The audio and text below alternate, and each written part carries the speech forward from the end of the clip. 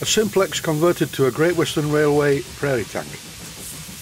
This is part 3 and the episode is called Making the Regulator Tube Fit the Boiler. In a perfect world, the hole in the boiler would be 1 inch in diameter, the same as the brass tube, which as you can see is 1 inch in diameter. But unfortunately, the bush on the back of the boiler is slightly under 1 inch in diameter, so what am I going to do about this? Well, the first thing I'm going to do is to remove this part. This is the flanged end that sits on the back head.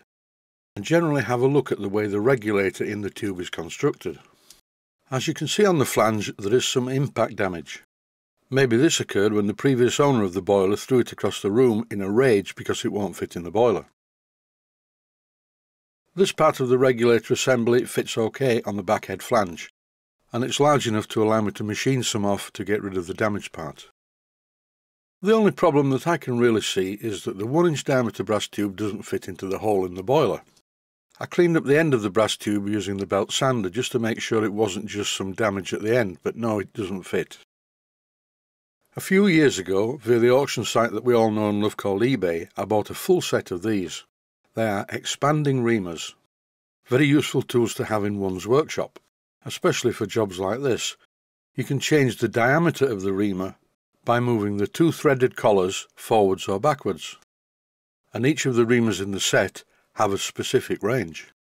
The range of this particular reamer is just below 1 inch to just above 1 inch. I always find that when I work with copper it needs plenty of lubrication, hence the oiling of the reamer. For the first pass the reamer is adjusted so it's only just touching the sides of the bush, and even though that statement is a perfect example of a girlfriend joke, I won't use one in this instance. This job took quite a while. Each time I withdrew the reamer, I made it a little bit bigger. And after the reamer had been passed through the bush about ten times, look what happens. The brass tube goes through the bush very well. I've actually made it slightly larger than one inch diameter. Because a small copper tube, which fastens into the end of the large brass tube, doesn't line up perfectly at the front end of the boiler. The part that I showed you earlier which is the regulator gland fitting, will have its own gasket and it will be bolted to the boiler flange using 8 bolts. So this is going to be okay, it will seal fine. The misalignment of the backhead bush and the wet header bush is only very slight, but the problem is magnified by the length of the brass tube and the copper tube in the end of it. It is possible to realign the boiler bushes. Even though I've done jobs like this many times, I do not recommend doing it because basically you have to distort the rear bush by inserting a 1 inch diameter steel bar into the bush and basically bending it into the correct position. But I'm not going to do that in this case because the misalignment is fairly minimal. What you've just seen me do is tighten up all the countersunk bolts that hold the internal assembly in the brass tube.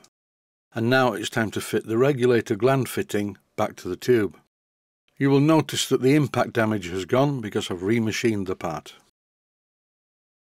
Time to have a look at the front tube plate. Here you can see the copper tube inside the boiler and I need to persuade this to come through the hole. And for that I used a Phillips screwdriver and here is the copper tube sticking out of the end of the boiler. As you can see it's not in the centre at all but that's because there's a little bit of play now on the rear bush which allows me to move the position of the main tube up or down slightly. Also the small copper tube is too long and needs shortening. Time to fit this to align the tube. So what is it? It's the main steam feed to the regulator. This small but important component takes the steam from the highest point in the boiler, which is within the steam dome. That's a sexy looking bit on the top of every steam locomotive boiler. On express engines though it's usually not quite so tall, but on tank engines it's usually very large. At the moment the steam pipe's a little bit too long because when I put the inner dome in position it just sits on top of the brass tube. The steam dome on a steam locomotive that everyone is used to seeing is just a cover and on a miniature locomotive this is usually screwed into the top of the inner dome. However, in this case it was screwed into the wrong place in the inner dome. So using some Loctite 603, a brass bolt and then chopping it off and cleaning it up, it will now be possible to drill a hole in the inner dome in the correct position. By the way, this hole did not go all the way through the inner dome. And the inner dome is not made from brass, it's made from gunmetal. It is a casting. Unfortunately, in my opinion, this part is unserviceable. Have a look at the distance between the holes around the inner dome flange. Looking at the workmanship on the rest of the engine, particularly the rolling chassis, I cannot see that the man who built the rolling chassis made this. So what's been achieved in this episode? Well, not a lot really. I remachined the regulator gland fitting to get rid of the damage, so that's a good thing. I also reamed out the bush to accept the 1 inch diameter tube. I used the regulator's gland fitting as a guide so I could drill through the holes to spot the face of the flange. I'll drill the backhead flange in another episode. I'm taking this boiler over to the steam workshop on Thursday for a hydraulic test, so I need to find some way of blanking off this centre hole. But I'm definitely not going to use the existing inner steam dome. I'm going to accurately make a plug using the rotary table for when I drill around the outer edge of it. And this plug will be machined to fit in the hole. Obviously I will remove the copper pipe first.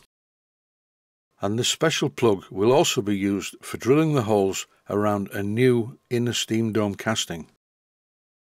So every one of the holes in the new steam dome casting will align perfectly with the ones I'm about to drill in the flange at the top of the boiler. That's going to be today's job. Today is Wednesday and it's tomorrow when I go over to the steam workshop so they can perform a hydraulic test on the boiler to make sure that it's good.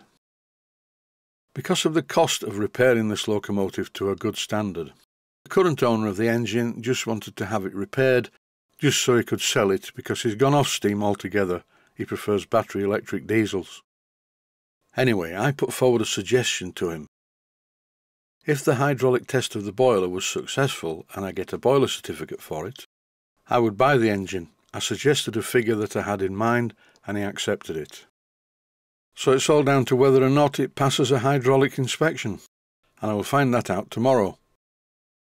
If the boiler fails its test, then there's no point in continuing the series really. But having a look at the boiler physically, I'm optimistic that it will be okay.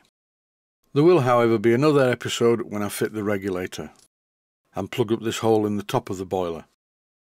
But that's it for this one. I'd just like to say, as always, stay safe, stay well. Thanks for watching, and I hope you found it useful.